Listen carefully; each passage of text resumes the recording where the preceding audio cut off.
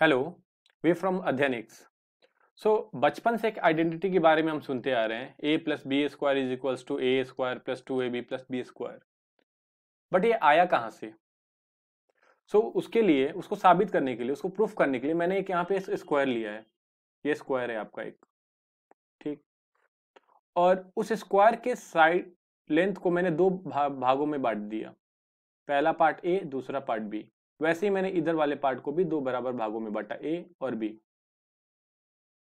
सो so, हम जानते हैं कि एरिया ऑफ़ स्क्वायर कैसे निकालते हैं हम। Area of square is side square so side मेरा क्या है भाई? A plus B so A plus B whole square इसी स्क्वायर के एरिया को अगर हम इस चार पार्ट जो मैंने चार पार्टों में ये स्क्वायर बट चुका है अगर इन चार पार्टों का एरिया मैं निकाल दूँ और उसको जोड़ दूँ तो ये स्क्वायर का एरिया मिलेगा मुझे।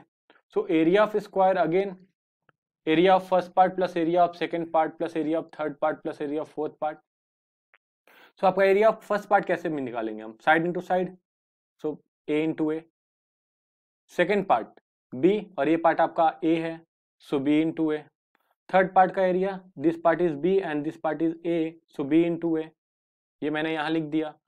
एंड द फोर्थ पार्ट इसका एरिया हम कैसे निकालेंगे? ये पार्ट आपका बी है और ये भी पार्ट आपका बी है so B into B so अब मेरा रिजल्टेंट क्या आएगा? A square plus B A plus A B plus B square इसको जब मैंने सम करके लिखा तो मेरे पास क्या आया? A square plus two A B plus B square क्या ये दोनों एक ही स्क्वायर के एरिया के बारे में हम बात कर रहे हैं? जी हाँ ये दोनों एक ही स्क्वायर का एरिया है।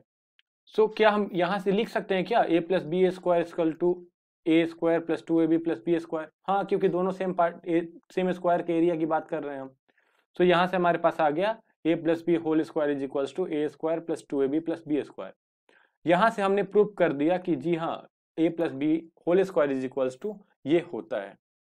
Thank you